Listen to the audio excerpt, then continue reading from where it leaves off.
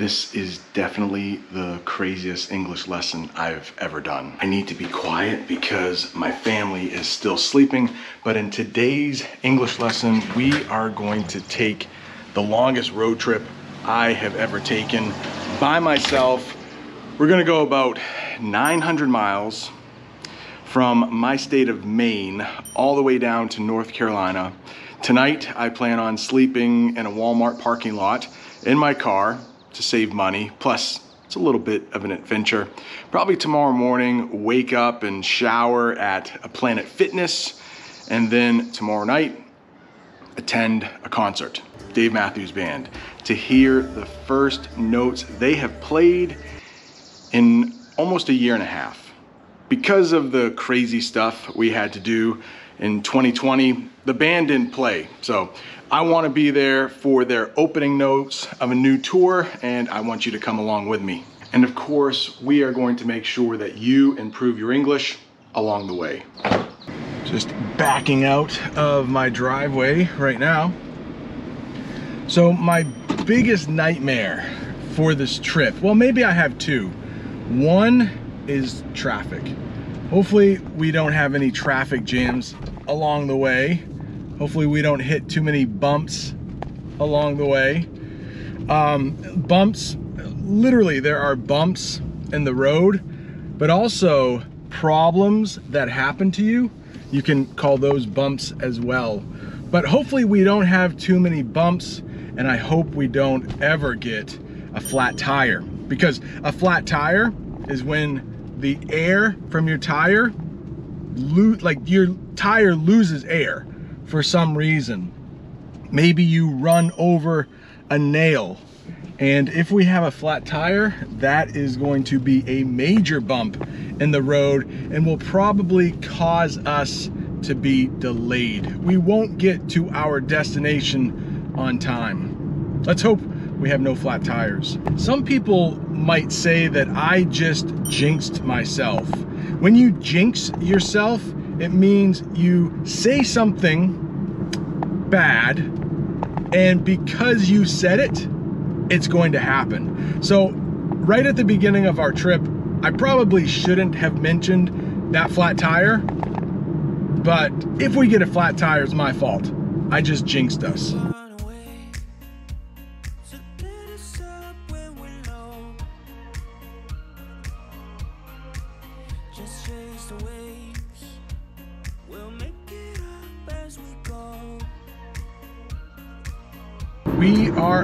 Officially on the highway. We just got on by the on-ramp. That's what we call it when you get on the highway. It's a road that's kind of curved, but it's kind of straight that allows you to build up the speed that you are going to need for the highway. And I am traveling at about 70 miles an hour. That's the speed limit on the highway in Maine. Each state might have a different speed limit. Like I know we'll be going through New York. New York's speed limit is 55 miles per hour. That's the, the most you can go in the state of New York. Hey Siri, get directions to Scranton, Pennsylvania. Getting directions to Scranton. All right, it looks like we got about six hours and 18 minutes Okay, Siri. We got about six hours and 18 minutes to get to Scranton. So that'll be our first major stop that we do. There'll be other stops along the way for bathroom breaks, but I want to go to Scranton first, not because the office takes place in Scranton, if you're a fan of the TV show, but what I want to do is avoid all the traffic that I would run into in New York City and Philadelphia. So what we're doing on our route down to North Carolina is we're taking the long way around. And the reason I want to do that is because I think it will be quicker even though I will have to travel more miles. There will be fewer traffic jams and I think a lot fewer headaches. You may know um, when you have a, a, a head that's hurting, we call it a headache. but we also call problems that we have headaches. Running into a lot of traffic in New York City would be a big headache for me. I would rather go around, travel more miles, but have fewer headaches.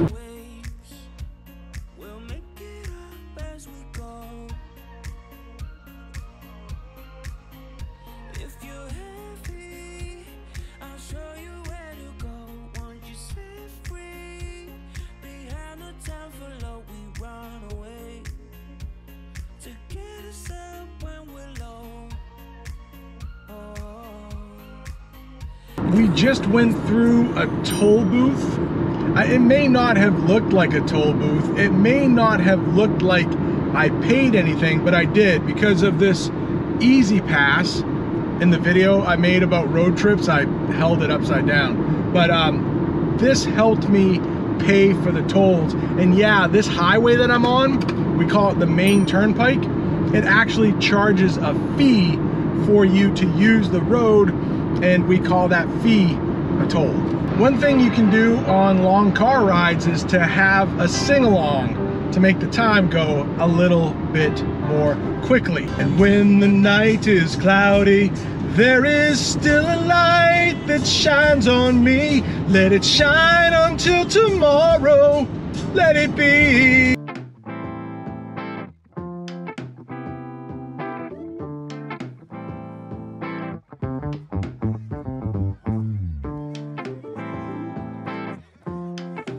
We're still in the state of Maine, but if you saw the size of that drink I was drinking, I need to use the bathroom. So we are going to visit a rest area right alongside the turnpike or the highway.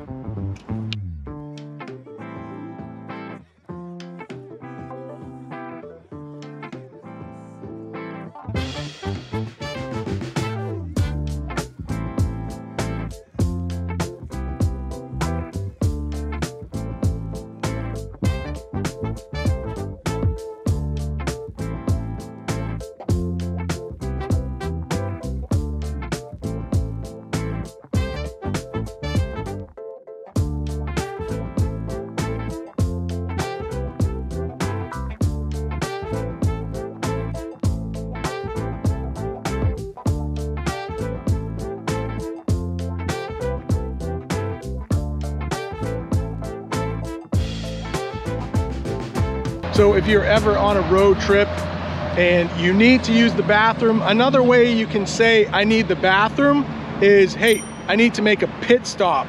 A pit stop, usually used in car racing when cars need to stop and get more tires, but we also have it as another term for, I need to use the bathroom. All right, next state is New Hampshire.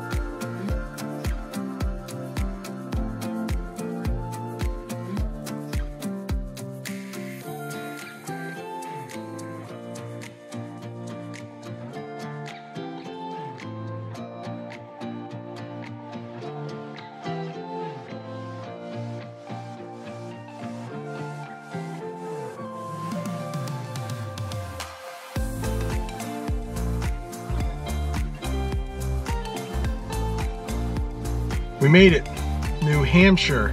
And right when you enter the state of New Hampshire, there is a liquor store because what goes better than drinking and driving? But of course, we are not going to drink today. I have too many miles to go. And of course, uh, drinking and driving is never a good thing, but it's kind of weird. There is a liquor store, big one, right on the side of the highway.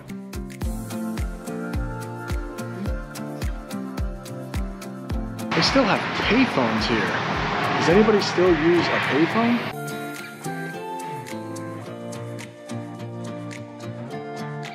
It's about 8.30, so we're here a little early. The liquor store is not even open, so the bathrooms are closed. We're gonna have to use a porta potty. I'm, I'm not happy about this, but when you gotta go, you gotta go. Well, that was fun. Next stop, Massachusetts.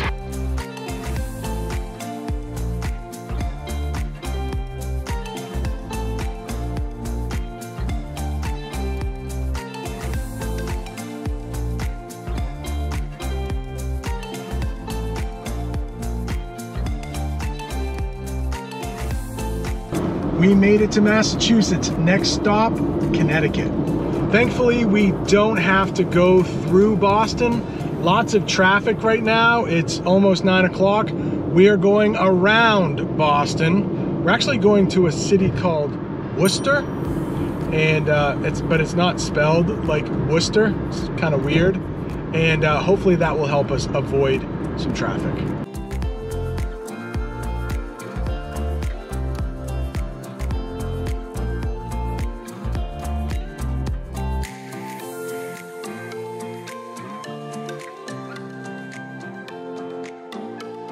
We are now at a rest stop or rest area in Massachusetts. And one of the things people like to do on long road trips is to stretch their legs. You'll hear that term a lot. When you're driving and you're seated, your legs can start to hurt. So you might stop at a rest area just to stretch your legs, walk around a little bit, then get back in the car, drive some more.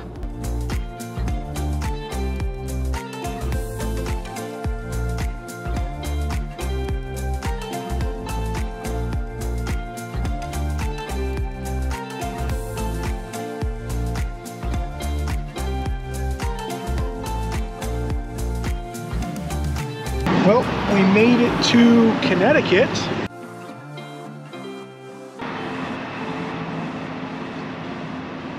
Almost every state, when you enter it from the highway, they'll have a little welcome center for you and there will be information on things you can do in that state. And right now, I'm in the Connecticut Welcome Center. And almost all of these welcome areas will have a picnic area so families can eat lunch or dinner, maybe even breakfast at the picnic tables.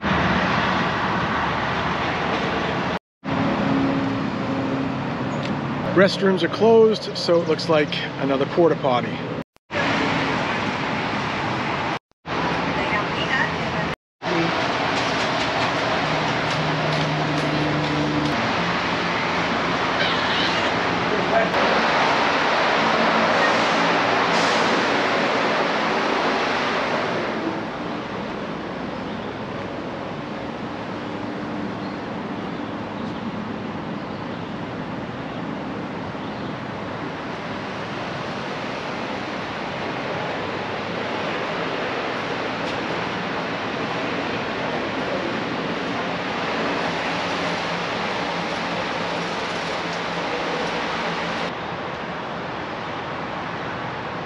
That is a hummingbird feeder.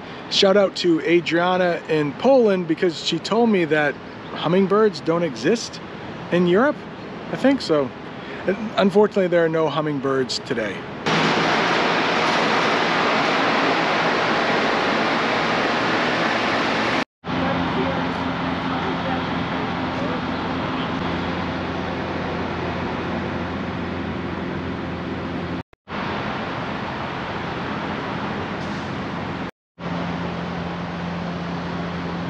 There's a little trail right at this rest area here in Connecticut. So I say, let's go see where the trail leads to. I think it leads to the river.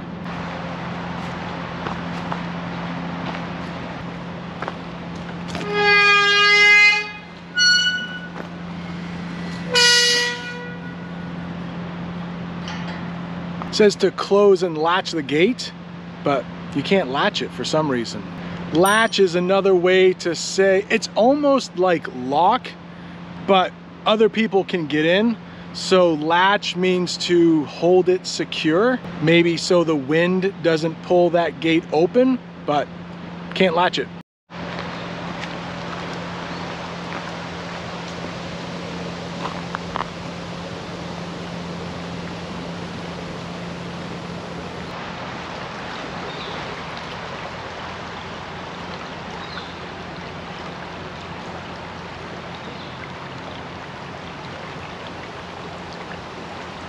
It is super muddy right at the river's edge. I would hate to fall in this river, so I am not going to go any closer. But certainly beautiful and certainly buggy. Lots of bugs down here in the shade where the sun doesn't hit. What a great place to stop for part one. We hit all of the New England states except for Vermont and Rhode Island. The next state is going to be New York. If you want to see more of that, there's going to be a link to part two right up there. Thanks for watching. See you next time.